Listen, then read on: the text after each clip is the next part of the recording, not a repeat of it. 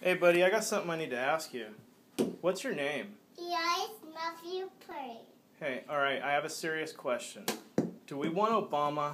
No. Do we want Romney? No. Ron Paul. That's right. Good job, buddy.